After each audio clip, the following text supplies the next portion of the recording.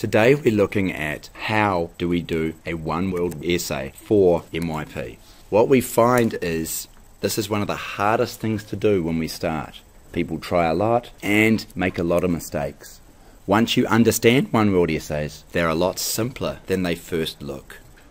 There are basically five things that you need to do to have a good one world essay.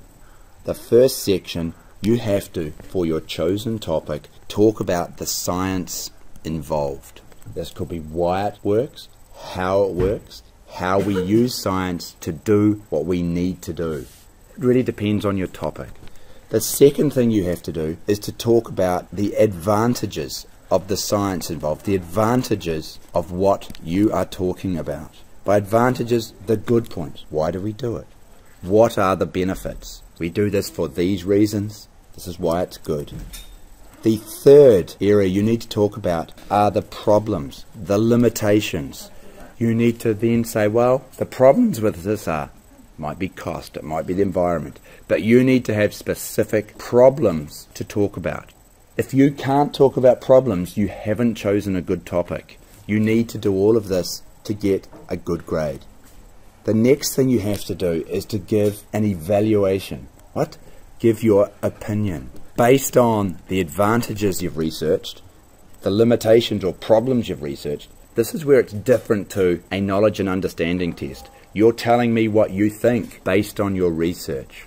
The last section is where we have to relate it to the world. Now, what do we mean related to the world? It's a pretty good question. If we look at grading theory for a typical task, your MYP give you these different criteria and say these are the things you must be able to relate it to. And you have to relate it to at least two of these areas to get a top grade. And finally, why the square boxes?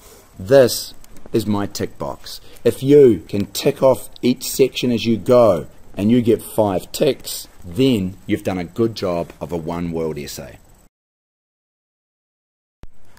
Here is an example of a one world essay. Choose an example of where we use acids and alkalis in real life. I've decided for this essay I will write about using vinegar to preserve food. Okay, I've made an example. Now I need to talk about the science idea involved. Vinegar makes the vegetables acidic, so bacteria cannot grow there. This means the vegetables last for years. There we go. Science idea. Too simple, of course, but the idea is there. The next thing I have to write about is the good features of this. The benefit of this is that the vegetables last for years. It's a pretty good thing. Now the bad points. They always have a vinegar taste. Hmm. We cannot preserve my favorite fruit, strawberries, because they would taste real bad. Strawberries and vinegar? I think not. Good points, bad points. My opinion, I think this is a great idea as long as we choose the right vegetables, the ones where vinegar taste is not so bad. An opinion, a spelling fix. Lastly, the hardest bit where we have to relate it to the world. Now, if we have a look at the MYP grading criteria, we see they're talking about relate it to at least two of these social, economic. How do you relate vinegar to that?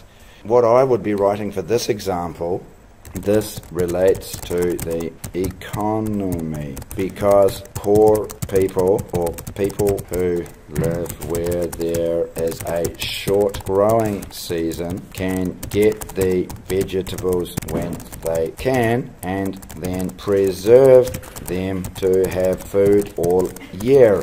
If you live in India, it only rains for two months. You can grow your vegetables then, preserve them for the whole year. I've only related to one area the second one, this also relates to the environment because it is non-polluting and these people eat food from their local region so there is not lots of transport with its pollution involved. Okay, now that's ridiculously simple essay, but I've talked about the science, the good, the bad. I've given my opinion and related it to two areas from the list that we're given. You, of course, would do a much more complex essay with more depth, but this is what is required. So, hopefully, that helps us to get started. And finally, yes, I do have the flu today. That's why I sound like a frog.